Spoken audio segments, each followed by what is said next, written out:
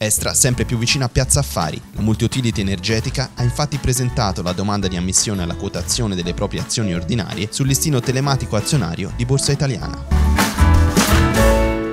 Ammontano a 18,8 milioni di euro gli utili realizzati da Estra nel 2017, in crescita del 6,3%. La compagnia energetica ha chiuso il bilancio consolidato del 2017 con un fatturato superiore al miliardo di euro.